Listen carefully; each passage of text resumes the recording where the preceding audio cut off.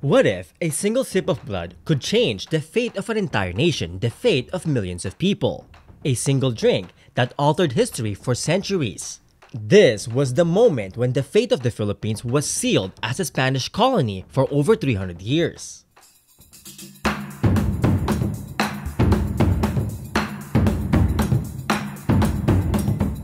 Mabuhay or in Kapampangan, Luwid kayo. Welcome back to my channel. It's me, Kirby Aralio, your friendly Pinoy historian. Today's video is actually part 2 of my mini-series on how the Spaniards conquered the Visayas, which is also part of my larger series about how the Spaniards conquered the Philippines and the European colonization of Southeast Asia. So if you're fascinated by this series, you know, by these untold chapters of our history, make sure to subscribe to my channel and hit that bell icon so you don't miss out on my upcoming adventures on history, culture, and everything in between. Anyways, without further ado, let's set sail into the heart of today's epic saga. Let's dive deep into the epic blood compact between the conquistador Miguel Lopez de Legazpi and the Visayan ruler Raja Sikatuna.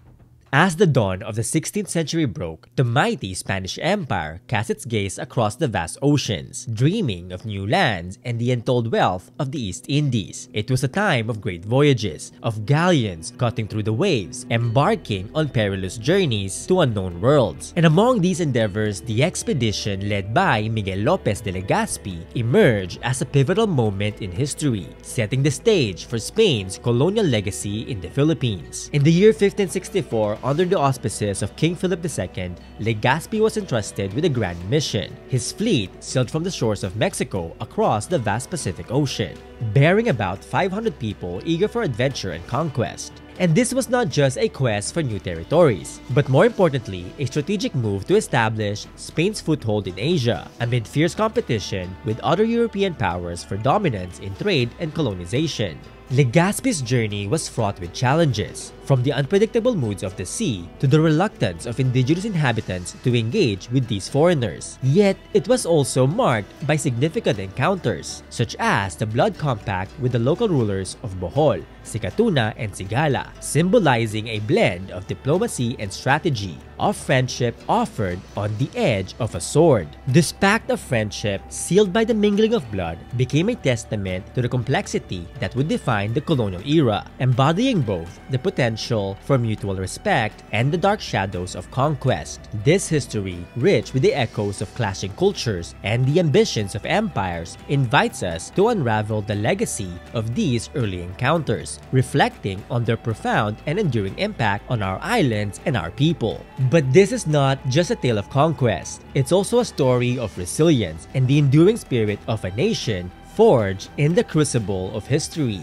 So as the early light of dawn stretched across the Visayan archipelago in 1565, the calm waters reflected the impending change. Miguel Lopez de Legazpi's fleet was on a mission, not merely to explore, but to cement Spain's presence in the Philippines. This venture was part of a larger narrative of European colonial ambitions. But for the Visayans, it marked the beginning of a new chapter, filled with uncertainty and mystery. Upon arriving in what is now the Philippines, Legazpi's crew found themselves in waters teeming with diverse indigenous communities, rich in trade, culture, and traditions. The Visayans, known for their maritime skills and vibrant societies, saw these foreign vessels with a mix of curiosity and caution. The presence of the Spaniards in their domain, in their islands, was not a simple arrival of foreign traders, but a collision of worlds where diplomacy and tension intertwined, like the waves raging against the galleons. Legazpi's adventure marked by strategic ambition and imperial designs, unfolded through vivid exchanges with the Visayans, painting a complex tapestry of early encounters far beyond a mere quest for resources. These early interactions, steeped in cultural significance, hinted at Spain's broader imperial ambitions, while navigating an archipelago ripe with the potential for friendship and conflict. This was not just diplomacy, it was a dance of cultures with each step laden with meanings and the promise of an intertwined future. You know, this moment, with sunrise heralding a new era, symbolized a pivotal chapter in Philippine history,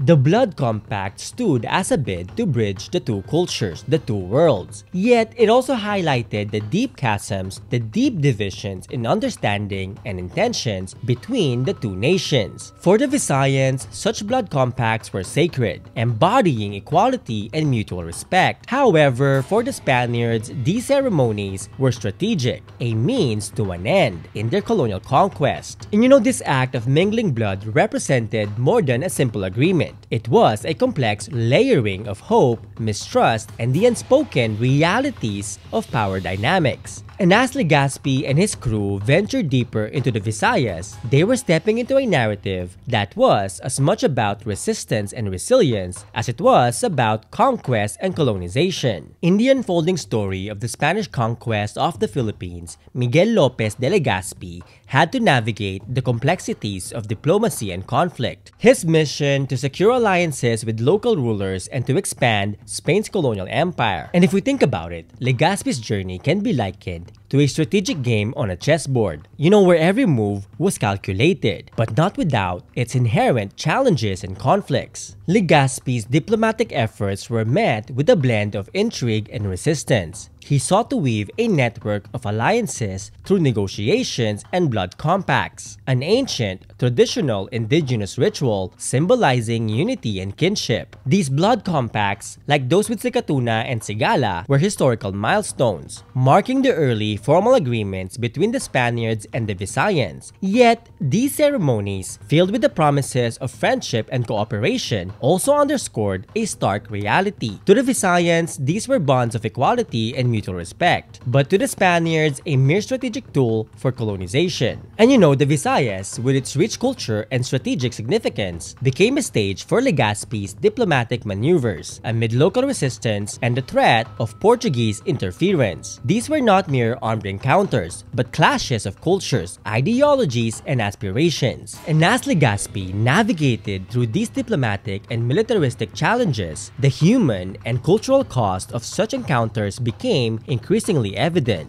The imposition of Spanish rule, the resistance of indigenous communities, and the eventual subjugation of the islands highlighted the complexities and consequences of imperial ambitions. This period in Philippine history is a testament to the resilience of its people and the profound impacts of colonialism, where the echoes of these early encounters still resonate in the collective memory of the nation. Legazpi's expedition and encounter with the Visayans invites us to reflect on their deeper implications, urging us to further examine the enduring legacies of colonialism in the Philippines that have been deeply woven into our people's history and identity. Okay, now I'm curious, you know, what do you think about these strategies that were used by the Spaniards and the Visayans, you know, in this intricate dance of diplomacy and conflict? I mean, do you see any similarities between this and other historical events, or, you know, similarities with what is happening in our world today. I mean, I can already think of a lot of examples of, you know, similar things that are happening in our geopolitics today. But I'm curious to know what you think in the comments below. So let's chat below, but for now, let's get back to our topic. Back to the blood compact between Legazpi and Sikatuna. In a significant moment bridging cultures, Miguel Lopez de Legazpi and Raja Sikatuna of Bohol came together for a blood compact, a sacred indigenous ceremony that symbolized mutual respect and friendship. Despite Sikatuna's initial skepticism, the promise of a respectful alliance led him to engage with the Spaniards. Now unknown to many, including many Filipinos today, Sikatuna's initial distrust of the Spaniards stemmed from European incursions, like the Portuguese plunder of Bohol in 1563 a mere two years before this epic encounter with Legazpi, and this plunder of Bohol had left a mark of suspicion and mistrust among the people of the island. This cautious approach to the ritual of a blood compact demonstrated a deliberate diplomatic engagement. The ceremony itself, conducted with solemnity and sacredness, involved the mixing of blood from both leaders, then mixing it with wine, signifying a bond that transcended the mere political alliance alliance. It was a deep, symbolic gesture of unity and familial bond. This sacred act, you know, performed with the sea as the backdrop, served as a reminder of the journeys both leaders had undertaken. You know, from worlds apart into this moment of unity, the blood representing life and lineage, now mixed, signified a hopeful beginning of cooperation and understanding. And so the immediate effect of this blood compact was a tentative peace and the establishment of Spanish presence in the Visayas, you know, with less resistance. However, the long-term impact was more complicated. On one hand, it marked the beginning of Spain's colonial foothold in the Philippines, fundamentally altering the course of its history and the lives of our people. On the other hand, it demonstrated the complexity of early encounters between Europeans and the indigenous peoples of the archipelago. You know, where moments of mutual respect existed amidst the dark shadows of conquest and domination. It is also worth noting that this was not the first time that there was a blood compact between the Spaniards and the Visayans. In fact, there's been a few since 1521. However, this particular blood compact between Legazpi and Sikatuna has captivated the imaginations of people for generations. You know, from the revolutionary Katipuneros to the present day, illustrating its enduring significance and impact in our history. And if we think about it, this blood compact, while a symbol of unity and alliance, also encapsulates the dual nature of colonial encounters. You know, like moments of human connection and understanding overshadowed by the broader and darker consequences of imperialism. And honestly, it reminds us of the importance of looking beyond the surface, beyond the surface of historical events, you know, to truly understand their profound human and cultural implications that continue to shape our society today. So after the symbolic blood compact with Sikatuna, Miguel Lopez de Legazpi embarked on a journey that would permanently alter the Philippine archipelago. His initial pact of friendship and alliance with the local rulers, like Sikatuna, laid the groundwork for the Spanish presence in the Visayas and beyond. Legazpi's strategic and diplomatic efforts, you know, were similar to planting seeds, some of which blossomed into fruitful exchanges and collaborations. You know, while others grew into thorns of contention, symbolizing the complex outcomes of colonization. Under Legazpi's leadership, the Spanish influence in the Visayas expanded, manifesting in the consolidation of power and the establishment of new structures of government. The Spaniards brought with them different social hierarchies and systems, fundamentally reshaping the fabric of our society. And among the most significant changes was the introduction of Christianity, which would become a cornerstone of Filipino culture. In fact, Catholic churches were built where there had once been native sites of worship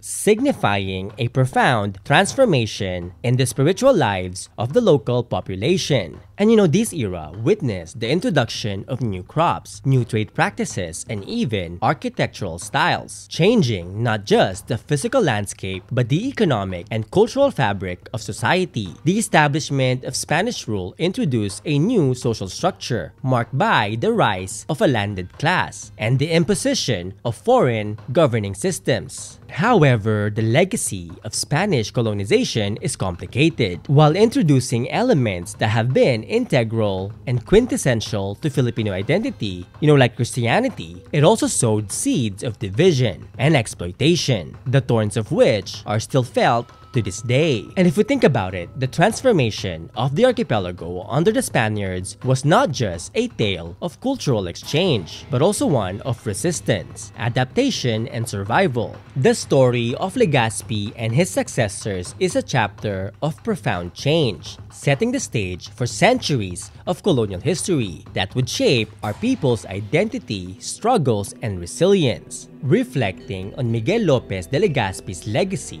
we journey through the echoes of history to uncover a story woven with both shadows and light. Legazpi's expeditions, marked by the vital blood compact with Raja Sikatuna, underscores a complex tapestry of cultural intertwining and colonial conquest that forever altered what is now the Philippines. Legazpi's impact on Philippine history is profound, embodying a duality that continues to resonate. His efforts to consolidate Spanish influence paved the way for significant changes, ushering in a new era of colonialism. Yet, this narrative is not without its thorns. The imposition of foreign rule disrupted ancient traditions, challenged existing power dynamics, and sowed seeds of resistance that would bloom into centuries of struggle for sovereignty, identity, and liberation. Today, Legazpi's legacy prompts a contemplation of cultural identity and historical memory in the Philippines, inviting us to consider how the past informs our understanding of ourselves and of our place in the world. The blood compact with Sikatuna, you know, while a symbol of initial friendship and trust between different cultures, also marks the beginning of a complex colonial relationship that would shape the archipelago's social, political, and cultural landscapes. And as we gaze back at the vast ocean that carried Legazpi to the shores of the Philippines, to the shores of the Visayas, we are reminded of the ongoing voyage to understand and reconcile with our own history. And if we think about it, the ripples caused by his expedition continue to shape our people today, challenging us to reflect on the legacy of our colonial past. And thus, we are called not to a conclusion, but to a continuous exploration of the depths of our own histories. Like the endless ocean that began our story, the quest for understanding our past and its impact on our present day is an infinite journey. So let us sail forward guided by the light of inquiry and reflection, guided by the wisdom of our ancestors, as we navigate the complexities of our roots and seek to forge a path of mutual respect and understanding, a path to a brighter future. And as we wrap up today's video, remember that this is just a part of our journey through the history of the Spanish conquest of the Visayas and beyond. I mean, there's so much more to explore in our series about the Philippines and Southeast Asia, so make sure to stay tuned and don't miss out. And of course, a big thank you to all my patrons for making my channel possible. You know, your love and support throughout these years truly helped me, you know, in bringing to life these untold histories of our people. And if you are new to my channel and you've enjoyed our time together, please consider joining our community on Patreon and becoming a member of my YouTube channel. And I'm actually working on updating and enhancing the perks that come with these memberships, making now an exciting time to join and get involved. And for a deeper dive, my books, coloring books, ebooks, and merch are here to take you further into the interwoven tapestry of our people's history, culture, and everything in between, spanning the Philippines, Southeast Asia, and beyond. Maraming maraming salamat po o in Kapampangan, dakal pong salamat kay Hongan and in Binisaya, daghang salamat sa inyong tanan. See you next time, mga Tagalog kita kits and in Kapampangan, Miki Tix and in Binisaya, kita ay ta.